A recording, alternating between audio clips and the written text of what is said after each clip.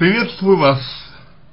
А, наиболее правильным ответом, по моему мнению, а, кажется ответ эксперта Лидии, именно он а, является, ну, на мой взгляд, э, самым прав...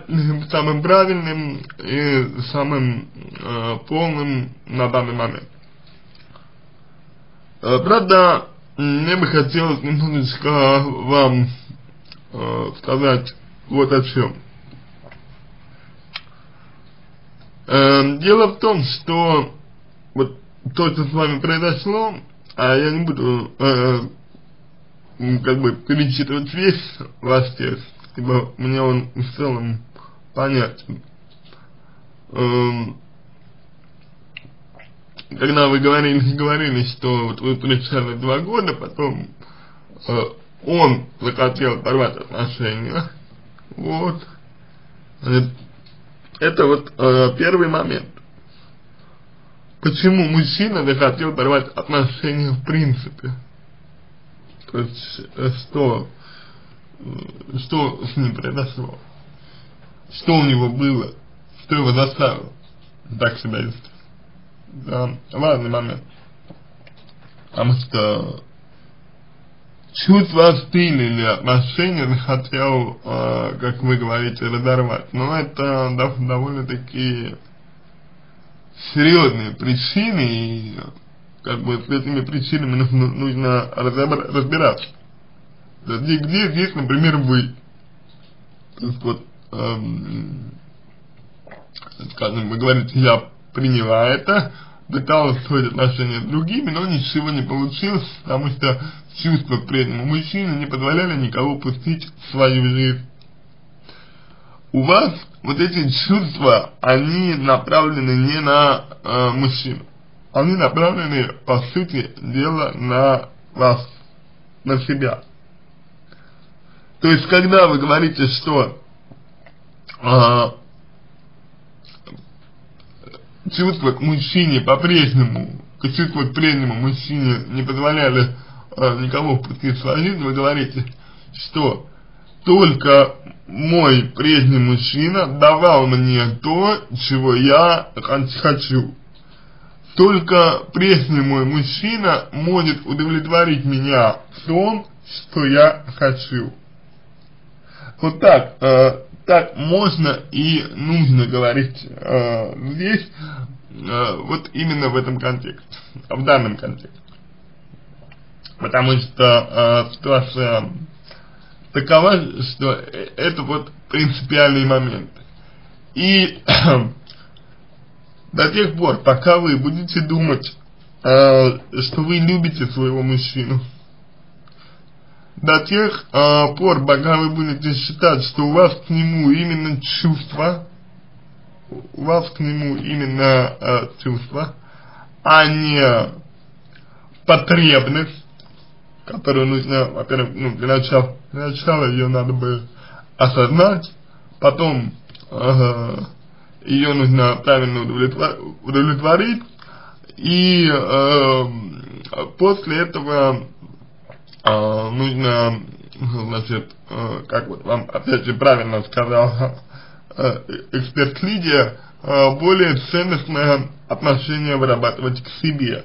Но это более ценностное отношение к себе связано с тем, как вы воспринимаете и себя, и мужчину как вы воспринимаете себя в отношениях и мужчину в отношениях. Вот э, именно от восприятия самой себя, от того, как вы сами себя воспринимаете, э, зависит э, ну вот то, что будет с вами в дальнейшем. То, то, э, то что будет происходить с вами в будущем. Потому что, э, потому что ситуация заключается в том, что вы, ну, объективно, вот именно объективно, сейчас просто а, зависли в своих потребностях. И именно вот из-за своих потребностей вы не можете ничего э, сделать. То есть вы не можете как бы э, получить контроль, собственно говоря, над своей жизнью. А это ведь очень, очень важно. Чтобы контролировать свою жизнь, чтобы контролировать себя, нужно, а, во-первых, иметь удовлетворенные потребности свои. Это очень важно. Во-вторых, э, нужно э, любить себя, ценить себя, уважать себя. Это тоже очень важно.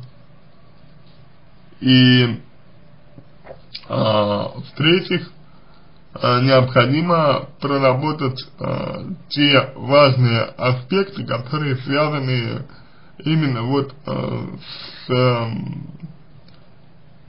с тем, насколько вы уверены в себе, уверены ли вы в себе, не уверены ли вы в себе и так далее. Это вот э, те моменты, над которыми вам нужно э, работать. И вопрос заключается в том, э, хотите вы этого или нет. Потому что э, ваш вопрос, когда вы задаете его, вот как мне быть, э, это вопрос довольно такой, знаете, я бы сказал, безответственный. Почему? Почему? А, безответственный вопрос потому это, что он как бы э, снимает вас ответственность за то, что происходит в вашей жизни сейчас. То есть вы говорите, вот у меня такая ситуация, вот я э, не знаю, что мне делать, э, помогите мне, помогите мне, пожалуйста но ведь вы в этой зависимости, по сути, живете довольно долго. У вас же это э, долгий процесс, это же не первый, э, не первый день, не первый даже год вы живете вот так вот. И поэтому так вот сразу это не исчезнет, так вот сразу это не уйдет и нужно отдавать себе в этом отсчет вам. Поэтому работа с психологом эм, на постоянной основе, опять же, э, так как вам э, сказала моя коллега, э, значит, э, воспитание к себе более ценностного отношения, вот, определение причин того, почему вы к себе так относитесь, почему вы ставите свои потребности выше своего достоинства и так далее. Какие это потребности вообще в целом, какие это потребности и э, что они из себя представляют. Вот это вот и нужно прорабатывать. И как, э, опять же, правильно вам сказала э, коллега Лидия, что э, это у вас, то, что происходит с вами, это не началось с молодым человеком. Это было в вас всегда. И еще с начала родитель, э, детско-родительских отношений. И вот именно с детско-родительскими отношениями и нужно эм, работать сначала. Поэтому если вы хотите э, брать, себя в руки, эм, то вам нужно начинать именно с этого. В чем вы в себя не, во всем вы в себе не уверены, почему вы идеализируете мужчину, почему вы считаете, что только с ним вы будете счастливы и так далее. Вот это все нужно определить так же, как и нужно определить, определить, что он вам дает такого, по вашему мнению, что вы не можете получить от других мужчин. Ведь вы же говорите, что вы не могли пустить в свою жизнь других значит, у вас есть ощущение, что именно этот мужчина а, может вас сделать счастливым. Только он может сделать вас счастливым. Вот этот аспект тоже нужно обязательно прорабатывать. На чем базируется ваше утверждение? Какие страхи вы пытаетесь купировать данным поведением? Вот это все нужно с вами разбирать. К сожалению, это, это работа. И работа это, к, сожалению, эм, не быстро. Выбирайте эксперта на нашем ресурсе и приступайте к этой работе. Э, хочу вам заметить, что необходимо будет, чтобы вы сами старались что-то делать чтобы вы были нацелены на изменение отношения к себе. Измените, э, будете изменять отношение к себе, будете осознавать свою ценность, и ситуация будет выправляться. На этом все. Э, надеюсь, что помог вам. Если какие-то дополнительные вопросы у вас остались, пишите в личку, я вам помогу. Если понравился мой ответ, буду благодарен, если сделаете его лучшим. А прежде чем закончить, хотел бы сказать, что вам вот э, стыдно перед подругами. А, вот вы так уже скользь на этом э, заострили внимание, но мне показалось это важно. А если вы пишете, что вам стыдно перед, перед подругами, если вы как бы оглядываетесь на их мнение, значит оно, это мнение для вас важно. Если для вас важно мнение подруг, значит вы, получается, в некоторой степени социально ориентированный человек, то есть вы слушаетесь к общественному мнению, и у вас эм, возникает фрустрация на, э, в результате того, что вы не можете э, быть, например, в глазах общества той, которой они хотят, оно, общество, хочет вас видеть. Если это так, то получается, что вы вполне вероятно можете считать, помимо всего прочего, что именно с этим мужчиной вы будете достойным членом общества. С другими мужчинами не будете, а вот с этим будете. И вот э, некая парадоксальность, если угодно, э, некое противоречие, связано с тем, что вы ни с кем не будете достойным членом общества, если сами по себе не будете соответствовать своим внутренним представлениям о том, каким должен быть человек личностью или, или социальным индивидом, или э, находящимся э, человеком в центре конвергенции эти, этих двух э, полярностей. Но с этим вам тоже нужно определиться. Как видите, зависимость это всего лишь э, следствие. Вот вы знаете, э, по большому счету, э, проблему зависимости очень легко описать. В отличие от всех остальных проблем, ее очень легко описать. Я не могу отпустить человека, я его люблю, он не хочет быть со мной, э, что мне делать? Я без него не могу. И казалось бы, все, что с этим делать?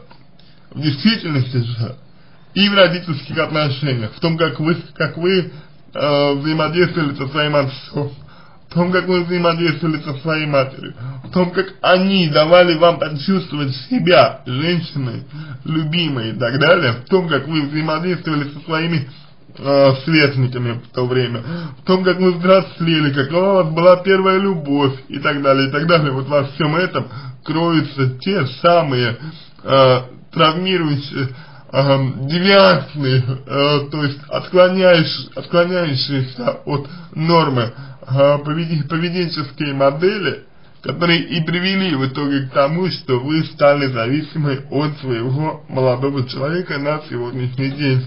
То есть причина зависимости не в нем, не в молодом человеке, не в ваших отношениях, а в том, какую э, личностную нагрузку и личностный смысл вы несете в себе. И есть ли у вас вообще он, этот самый личностный смысл, привили ли вам его родители, а если нет, то какой для вас наиболее приемлемый путь. То есть зависимость это по сути всегда замещение чего-то, чего у вас не было. и нет. Если бы человек был самодостаточным, если бы у человека было все, я имею в виду сейчас в психологическом плане, зависимости никогда бы не произошло. Ну, по аналогии с наркотической или алкогольной зависимостью, ведь человек, э, по большому счету, например, вот в алкогольную зависимость впадает постепенно. То есть, его что-то на это двигает, его что-то толкает на то, чтобы он э, периодически принимал алкоголь. Вот именно эти факторы, которые заставляют человека периодически принимать алкоголь, и нужно разбирать, а не то, э, что и как и почему он сам, например, э, не может остановиться, да, если начинает пить, пить. Это немножко другое уже. На этом все. Надеюсь, что помог вам. Еще раз э, желаю вам всего самого доброго и удачи.